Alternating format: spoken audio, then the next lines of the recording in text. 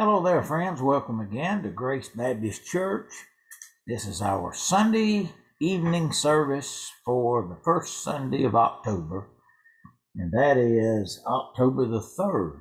We're already in the book of, of Matthew as we started last week, and uh, if you have your Bible, I'd like you to turn there with me. Uh, we're going to be looking today at our compassionate Savior and the way He handled uh, those who tried to trick Him those who tried to discourage him. How did the Lord handle these enemies that he had, called the Pharisees and the Sadducees and the Herodians? So we're going to be in Matthew 14 and 15 today. And I appreciate you tuning in. Such a blessing to have you with us today, and I hope you're having just a, a wonderful, wonderful Sunday. Had good service this morning, and now we're ready for another one tonight. Let us pray. Our Heavenly Father, we come today, ask your blessings upon us, Lord, as we study your word. Fill us with your Holy Spirit. Teach us things that will help us to be more like Jesus. God, I pray the message will be a help and a strength for us all. Lord, help us to get a fresh glimpse of Calvary. Help us to look and see our Savior as he was stretched out on that cross. God, we want to serve you and we want to thank you for his sacrifice for us. In Jesus' name, amen. Well, friends, as you have your Bible there, I'd like you to turn to Genesis chapter 50, verse number 20, where we ended up, and then we'll get right back to Matthew 14 36. But we talked about this a little bit last week. Uh, we see that sometimes the mighty power of God is seen in affliction. Sometimes you go through a trial and you wonder, how could the Lord ever get any glory out of this? How can this ever be any good for me?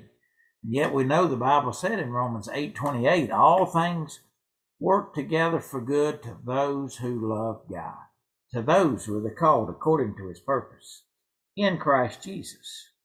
But we notice the mighty power of Christ.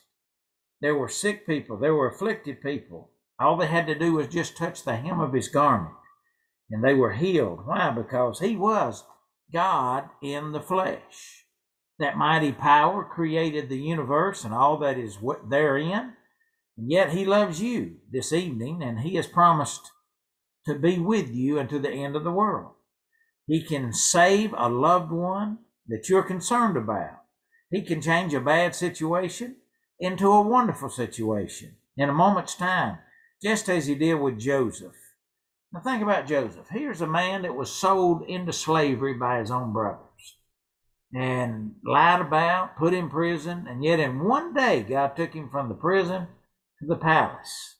And so we read about this, and the brothers, they were all scared that Joseph was going to kill them after daddy passed away. But he tells us in Genesis 50 20, But as for you, you thought evil against me, but God meant it unto good, to bring to pass, as it is this day, to save much people alive. So God can take what somebody does to harm you and he can turn it around and bring something wonderful out of it. It's never fun to be stabbed in the back or to be lied about or to have people oppose you. But do you know God can even use that for something good? But only God can do it. Back to Matthew 14 now, verse number 36. As you have your Bible, if you'll turn there with me, it says that they besought him that they might just touch the hem of his garment. But as many as touched, they were made perfectly whole. That tells me that God is a powerful God. If they just touch the hem of his garment, the word for touched carries the idea to attach oneself to to touch and grab. And the hem there means the fringe of the garment. In the New Testament days, it was a little piece of cloth hanging down from the edge of a mantle or a cloak. It was made of twisted wool, and it's kind of like a tassel. So if they attached themselves to the edge of Jesus' robe, supernatural power would be emitted. And that's the type of faith we need to have when we need the Lord's help. Attach ourselves to our Savior. Trust Him to bring us through. And through the eyes of faith, we know that He will take care of us. He is our great high priest. He is seated at the right hand of the Father. He's praying for you right now. He's praying for me. If you'll notice, those that touched the hem of the garment, they were made perfectly whole. That means they were cured. They were rescued from all danger and all disease. And those that didn't touch the hem of his garment did not get any benefit from it because of a lack of faith. And he will answer your request. Whatever your request is, you go to the Lord. Let God take care of it. There's a missing place in the life of every person until they come to the Lord. And then He fills that void in our hearts.